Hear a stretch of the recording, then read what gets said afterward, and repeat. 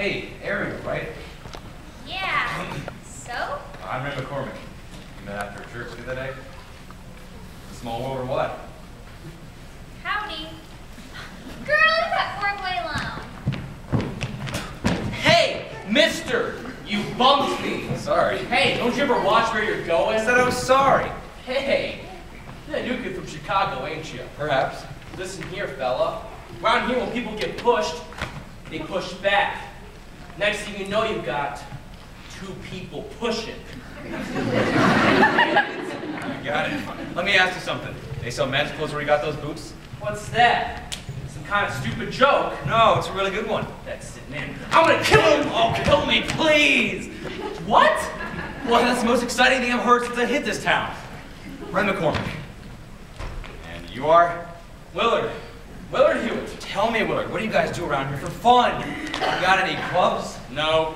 What about Nope. What about malls? Nope. What about? Nope, nope, and no.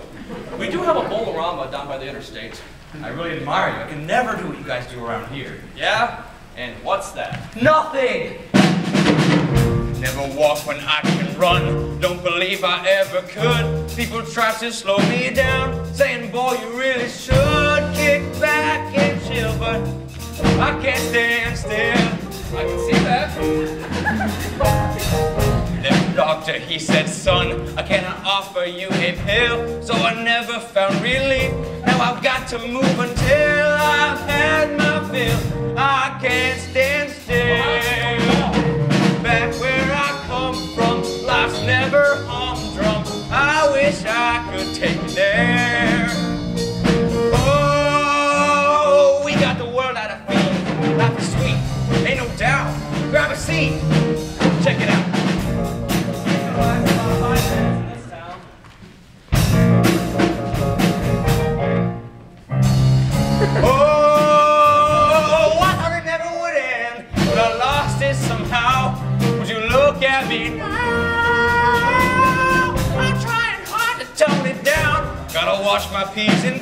Q's. Maybe look before I leave. Then I think, hey, what's the use? Ain't done it yet.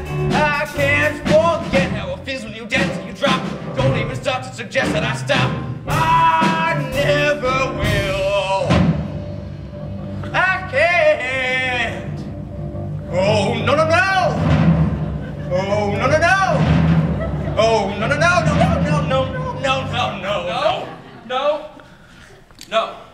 Somebody kill me, cause I can't stand. Stand.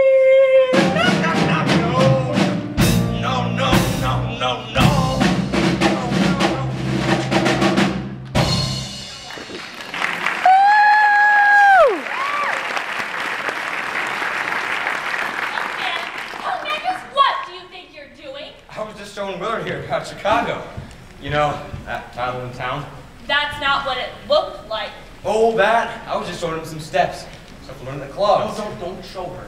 Do what? This? Mr. McCormick, Oh, shoot. there is no dancing allowed here. What? Listen to the woman. Oh, all right. Not supposed to have any fun in school property. That sort of remark may count for wit in Chicago, but here we speak simply. Let me make this as clear as I can. There is absolutely no dancing of any kind allowed anywhere within the town limits of Bola. What? Ever. She's serious. Oh, I get it. Joke's in the new kid, ha ha. Mr. Hewitt, would you inform your friend? It's against the law. Dancing? Get out! Shut up! Mrs. Clark, ma'am, Ren was ignorant of our local law, and I will inform him of his ignorance. And I will see both of you in my office after school. What? I'm sure we all have places to be. Oh my gosh, Willard, the way sentence you've ever made. Chin up, Mr. McCormick. Such a turn on watching guy fly face of authority. Don't you think, Wendy Jo? Uh-huh. Was she serious? Serious as a heart attack. So dancing's against the law. Has been for five and a half years ever since the accident. What accident? The Patani Bridge accident? You've never heard of the Patani Bridge accident? I did what been doing this. Will, you should take this one? Please, be my guest. There are these four kids we all grew up with, and they were coming back from a big dance over in Baylor County. Now, maybe it was the rain that night, maybe they were being a little wild, but somehow they lost control of the car. It skidded across the bridge, crashed through the railing, and fell 35 feet into the Batani River. No one survived? God. On the sheriff's autopsy report, it claimed that there was alcohol and marijuana in their bloodstream. The whole town went nuts. That's when Reverend Moore got so righteous. He started to blame anything and everything. Drugs, alcohol, rock and roll. And dancing? You got it. He convinced the whole town council that dancing was a sin, and just like that, he passed the law. Wait, so Reverend Moore has that kind of power? Reverend Moore? He is the power. He's the law. How can you guys stand to live like this? Practice. Years and years of practice. It's not like Chicago. It must be so cool living in a city where you can walk down the streets and get mugged by people you don't even know. I. Thought living in a small town was gonna be great, like one big happy family. Well, let me tell you about that family. There's tongues wagging every time you move. Fingers pointing every time you turn around. There's head shaking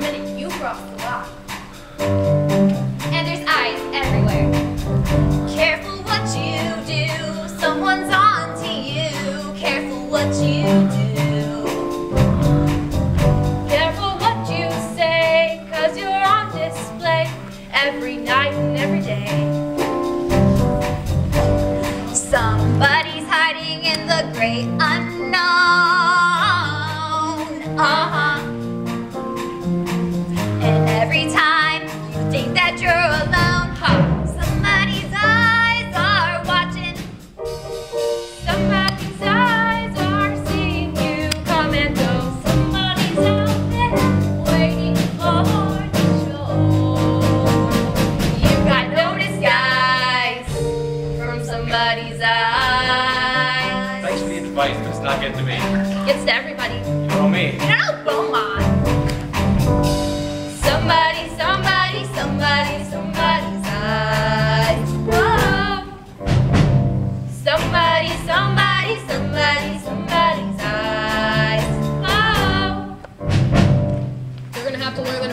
A stop sign means stop. I thought I did.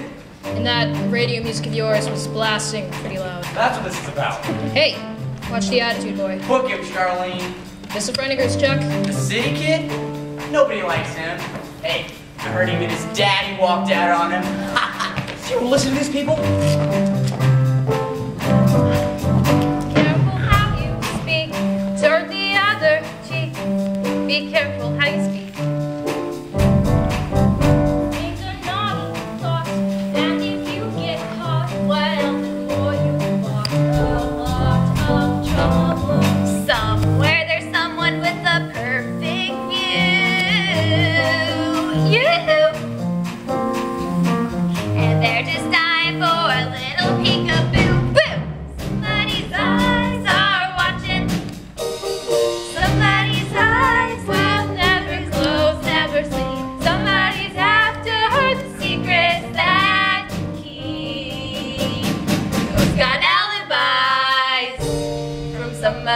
Eyes? Principal Clark, this boy turned my wrestling practice into a brawl. Oh, yeah? I suppose my nose just slammed into his face. Boy, you started! Hey, you started! Hey, hey, hey! That's enough. My boys know the difference between a street fight and a wrestling match. Yeah, coach, a wrestling match is usually in the wrestling room. That is enough out of you. This is the third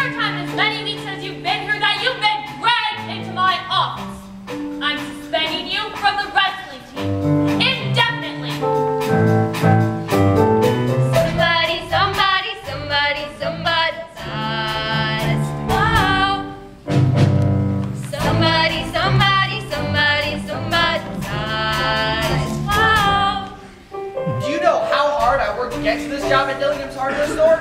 It's not even a month and you've been fired. Every day it's something new with you, Fred. Every day. Oh, no, don't exaggerate. Ethel, now hush, you're not helping things. Ren, what happened? Look, Little came to the shop one day and he wanted change for a dollar. So I popped up in the register. And as soon as Mr. Dillingham came by, he went nuts. He accused me of stealing. That's because everything you do makes people suspicious. Are you on drugs? No! Why don't you frisk me? You probably poked through everything in my room already. Ren, apologize to your uncle. Look, I know I'm not your father. You can say that again.